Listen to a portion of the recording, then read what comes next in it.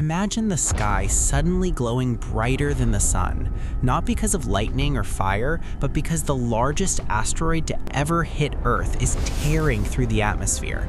And this isn't science fiction, it already happened.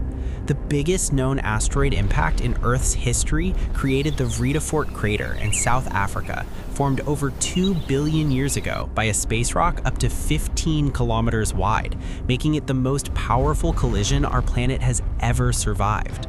That impact reshaped Earth's crust itself, releasing more energy than anything that has happened since.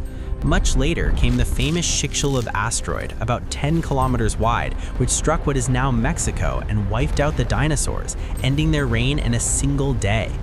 Then there was the Sudbury impact in Canada, another massive asteroid that hit with unimaginable force and helped form rich metal deposits still mined today.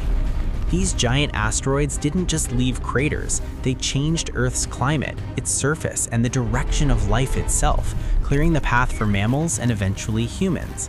Even today, space hasn't gone quiet, as shown in 2013 when a smaller asteroid exploded over Chelyabinsk, Russia, injuring over a thousand people without ever touching the ground. That's why scientists now watch the skies non-stop, tracking thousands of near-Earth asteroids, because the same kind of space rock that once reshaped the planet could appear again without warning.